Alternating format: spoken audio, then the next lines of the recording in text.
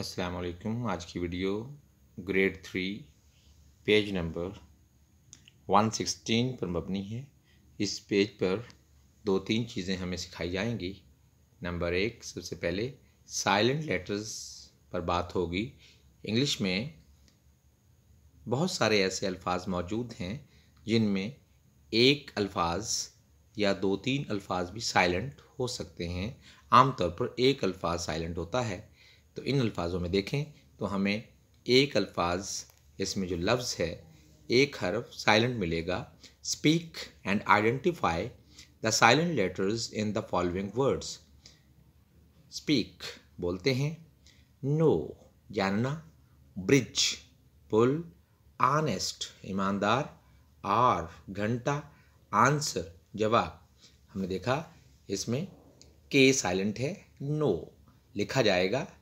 लेकिन पढ़ा नहीं जाएगा। ब्रिज में डी साइलेंट है आनेस्ट में एच साइलेंट है hour H silent answer W silent इस लफ्ज़ में देखा हमने कि किस तरह से हम साइलेंट वर्ड्स को हमें चुनना होता है। नहायत एहतियात से उसमें देखना होता है कि कौन सा लफ्ज़ साइलेंट है।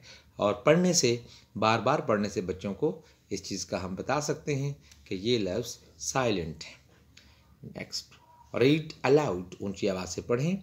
Read the poem aloud with actions actions के साथ इस पोएम को पढ़ें। कैसे भला?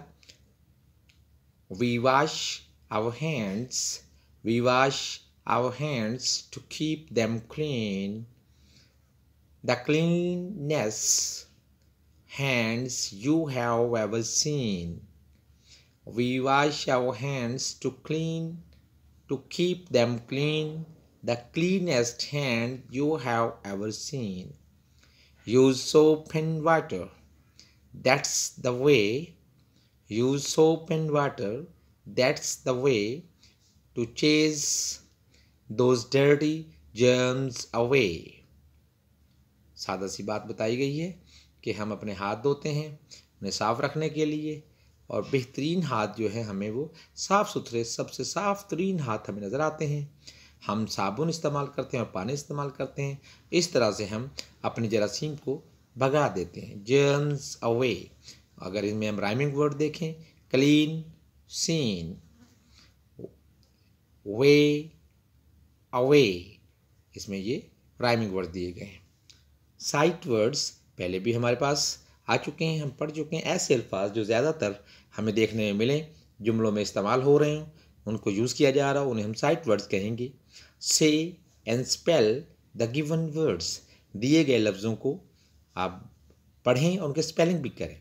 Read R E A D read write W R I T E write tell T E W L tell T E N ten read write tell ten these are sight words अक्सर हमें जुमलों में देखने को मिलते हैं। Reading and critical thinking पढ़ाई और नाकेदाना, सोच के सोच के देखें कि इसमें क्या बात हुई।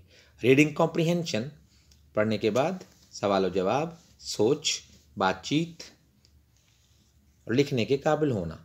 Read the text again given at the beginning of the unit and answer the following questions सवालात, जो बिगिनिंग ऑफ़ द यूनिट दिए गए, उनको पढ़ें और उनके जवाब दें। Who would get perfect teeth? Who would get perfect teeth?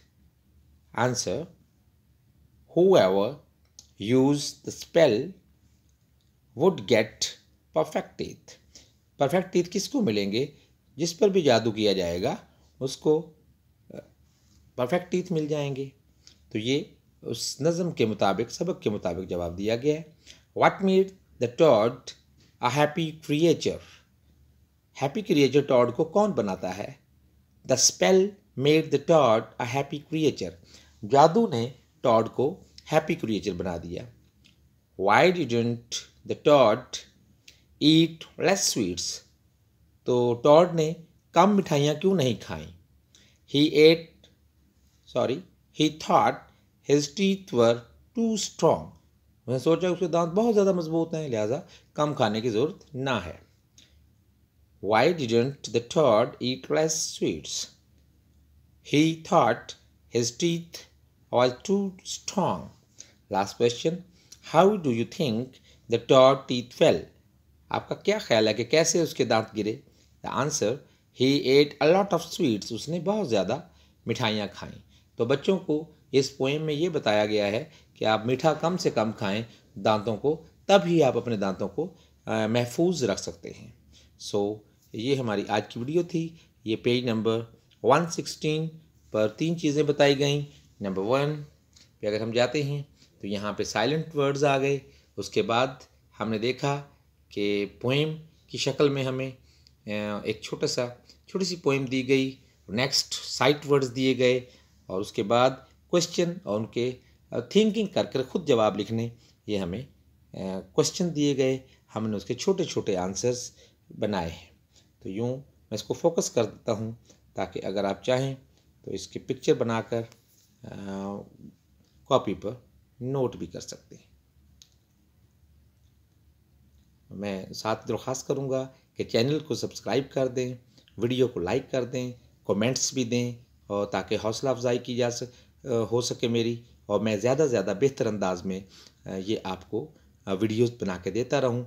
इससे आपको मेन फ़ायदा ये होगा कि बच्चों को आपको ट्यूशन की ज़रूरत ना होगी। आप एक या दो बार बच्चा इस वीडियो को देखे, लिखे और इस तरह से बच्चा बेहतरीन अंदाज में अपने पेज को तैयार कर सकता है। Thank you for watching video अल्लाह हाफिज़।